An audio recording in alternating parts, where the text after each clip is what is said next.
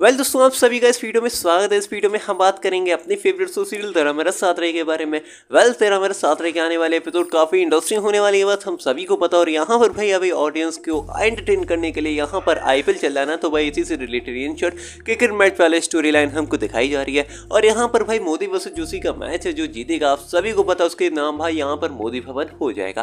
फ़िलहाल के लिए मैं आपको बताना चाहता हूँ यहाँ पर भाई जोशी बहुत ही ज़्यादा हरकती टीम है और खेलने में भी काफ़ी अच्छी है। तो जिसके चलते अपनी चीटिंग और सारी अपनी प्लेइंग पावर दिखाते हुए यहाँ पर भाई जोशी कितने भी नहीं, बल्कि यहाँ पर पूरे 200 रन बना लेगा। तो यहाँ पर भाई मोदी के सामने टारगेट आ जाएगा 201 रन बनाने का। अब यहाँ पर भाई जोशी काफ़ी सारा चीटिंग चीटिंग भी करते हुए नज़र आएँगे, जिसके लिए भाई यहाँ पर मोदी परिवार के लिए बहुत ही ज़्यादा डिफिकल्टी बढ़ती हुई नज़र आएगी। अब भाई मोदी के सामने बहुत ही अच्छा खासा टारगेट आ जाएगा दो रन का।